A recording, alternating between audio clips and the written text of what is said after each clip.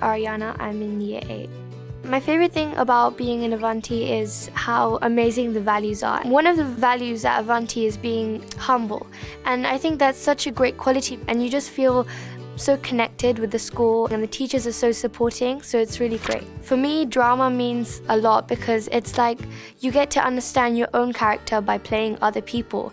It gives you a sense of confidence. You kind of forget about everything around you and you're in the role of the stories that you love and it's really nice the connection with everybody that it's just so amazing and incredible because we learn about stories of God and we learn about all of these spiritual teachings. It's like a family, it's like a community of drama. I never knew about the story of Lord Chaitanya. Like I was explained to it about how he was born under a Nimai tree and it was so fascinating to me because I'd never knew that there were so many stories. Like I've always known about Krishna and everything, but I've never knew that there was more incarnations. I learned this through drama.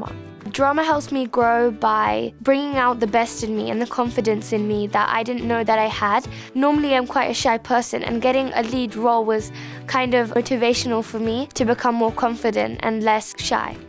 Spirituality is a big part in the school because we have the midday prayer and the morning prayer and then the end of the day prayer, which it kind of reminds us to stop and think and listen Last year we put on the Ramayan and it was really fun and the school just puts it in a way that you enjoy it and you embrace it as well. We did a school trip to the temple and it was so fun. You could see the emotion in people's faces when we did kirtan and I've never done kirtan in my life before that.